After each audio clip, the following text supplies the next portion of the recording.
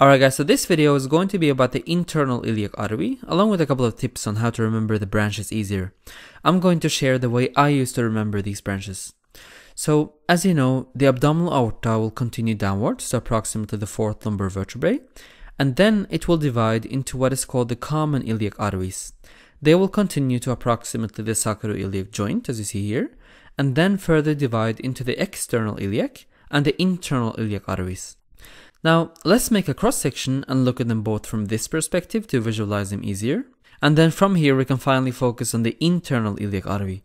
The first thing to understand is that the branching pattern of the internal iliac is very variable, meaning any particular branching pattern of the internal iliac artery, whether it's an anatomical atlas or a lecture, will probably have no bearing whatsoever on the on the branching pattern on the next person you encounter. Even the variation between the right and the left side in a single person can be as great as among different people. So instead of focusing on the branching sequence, instead concentrate on matching the arteries to their target, which I will try to show you in this video. It will be much much more easier to remember the branches of this artery. Now, the internal iliac will travel along the lateral wall of the, of the lesser pelvis and then split into two divisions. There are typically 10 branches of the internal iliac artery, and if you know these 10, you'll be fine in almost any conceivable purpose. There are a lot of ways to remember the branches of the internal iliac, but a simple scheme for remembering them is to remembering the numbers 2 plus 4 plus 4. That gives you 2 to the back body wall, 4 leaving the pelvis entirely, and 4 to the pelvic viscera. So let's first look at the two branches going along the posterior body wall. The first one is an artery called the iliolumbal artery, it's, it ascends and then eventually divides into two branches. The lumbar branch, which supplies the muscles of the posterior wall of the abdominal cavity, and the iliac branch, which passes along the iliac crest and supplies the muscles of the anterior wall of the abdominal cavity.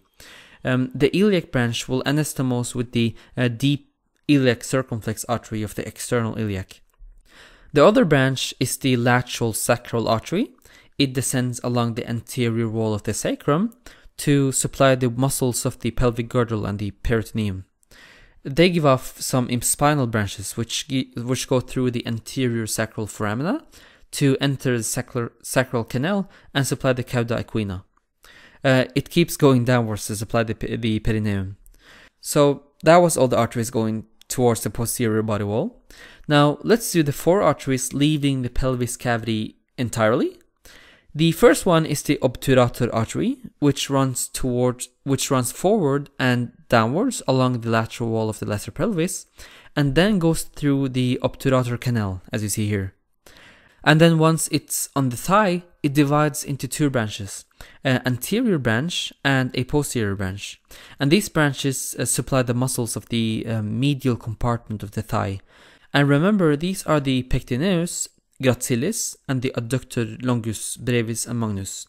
Uh, it also has a side branch for the obturator externus muscle. Now the artery on its pathway give off two side branches. One called the pubic branch, which anastomose with the pubic branch of the inferior epigastric artery. And when they connect, they get the name corona mortis. And the term corona mortis translates as the crown of death uh, and I mentioned this in last video, but the crown of death, it indicates the importance of this structure in, in orthopedic surgery, because accidental damage to the structure can cause significant hemorrhaging, which may be difficult to achieve hemostasis. So it must therefore be considered cautiously during surgery. So that's the pubic branch. The other branch is the acetabular branch. Let's repeat some joint anatomy a little bit so that you understand this branch fully. Here you see the acetabular fossa with the lunate surface up here and the transverse acetabular ligament forming a complete circle together with the lunate surface. But you see this white arrow going under the transverse acetabular ligament. This is where the acetabular branch of the obturator artery will go through. It runs inside the ligament of the femoral head to supply a caput femoris. So that's basically the obturator artery. Next, we need to add a muscle called the piriform muscle because out of the next three arteries, one will leave above the piriform muscle and two below it. So now the next artery is the superior gluteal artery, which leaves the pelvic cavity through the space above the piriform muscle, um, the suprapiriform foramen, we call it. And then it goes upwards, as you see here. And this artery will supply musculus gluteus minimus, gluteus medius, tensor fascia lata, and articulatio coxa, or the hip, hip joints, uh, sometimes also called the acetabulofemoral joints. So that's this one. Next, since we have a superior gluteal artery, we also have the inferior gluteal artery. It leaves the pelvic cavity through the space below the piriform muscle and then goes towards the lower part of the hip joint as you see here to supply all the muscles shown here. And these are the internal obturator muscle, uh, gemellus, quadratus femoris, uh, as well as the gluteus maximus and the levator ani muscle. So that's it for the inferior gluteal artery. The last artery that leaves the pelvic cavity completely is the internal pudendal artery. This artery will also leave the pelvis in the space below the piriform muscle, as you see here. And if we follow the artery looking from this perspective, you will see that the artery winds around uh, the spina sciatica and then it continues into the space between the perineal muscles and the muscle of the pelvic diaphragm to to then go continue towards the anterior side as you see here where it terminates. And in male it terminates as two arteries the deep and dorsal arteries of the penis while in female it terminates as the deep and dorsal arteries of the clitoris so that's the course of the internal pudendal artery. Let's now look from the posterior view to cover the side branches of the internal pudendal. The first one is the inferior rectal artery, which supplies the lower third of the rectum. There's the perineal artery, which supplies the muscles of the perineum and also give off branches to the external genitals. And these branches are the a posterior scrotal artery supplying the posterior surface of the scrotum in male, and the posterior labial artery, which supply the posterior parts of the labia majora. Another branch of the internal pudendal artery is the urethral branch supplying the urethra. Then there's the artery of the bulb of the penis, which supplies the bulbus penis in male, or the artery of the bulb of the vestibule uh, for the bulbus vestibuli. So that's all for the internal pudendal. Now we've covered the two arteries going to the back body wall and the four arteries leaving the pelvis completely. Next, let's do the four arteries supplying structures within the pelvis for the pelvic viscera. So let's add the urinary bladder and continue with the first artery, which is the umbilical artery. Now, the umbilical artery is actually an artery found during the fetal life but then regresses after birth, and a portion obliterates to become the medial umbilical ligament. As you see here uh, in the anterior abdominal wall, the peritoneum is going to form, form this fold. What remains of this artery are the superior vesical artery, which ascends along the urinary bladder to supply the um, body and the apex of the urinary bladder. Another artery that remains is the artery of the ductus deferens, which goes together with the ductus deferens. It supplies the ductus deferens and also supplies the vesica seminalis.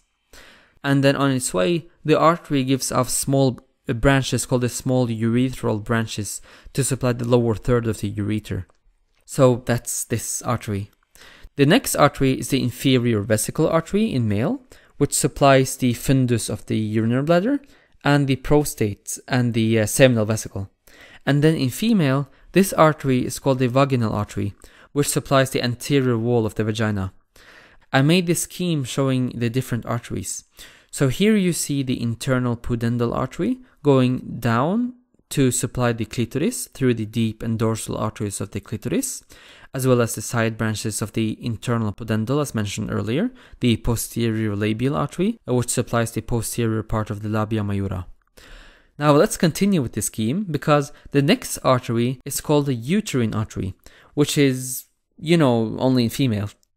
And we will add the ureter and the cardinal ligament as, as a landmark because the uterine artery will run upwards and pass the cardinal ligament of the uterus to the cervix before it ascends along the lateral side of the uterus, as you see here, where it divides into two branches. Tubal branch, which supplies the tuba uterina and the mesosalpinx, and the ovarian branch, which supplies the uh, ovaries. There are many variations of this, as mentioned earlier, but mainly both of these arteries anastomose with the ovarian artery of the abdominal aorta. Another thing with the uterine artery is that it also supplies the anterior and the posterior wall of the uterus. Occasionally, you may find the uterine artery also giving off urethral branches for the lower third of the urethra, and uh, the vaginal artery for the vagina. So that's the uterine artery.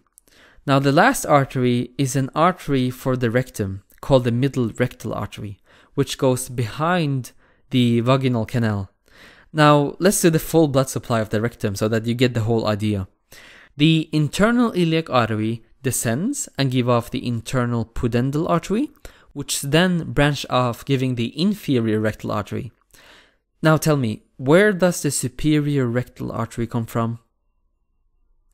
It comes from the inferior mesenteric artery. Good job if you remember this one. Uh, from the abdominal aorta. Then there's the middle rectal artery, which comes directly from the internal iliac artery, um, completing the whole blood supply to the rectum. So that's all I had for the internal iliac artery. I really hope this video helped you to understand the internal iliac artery. Until next time.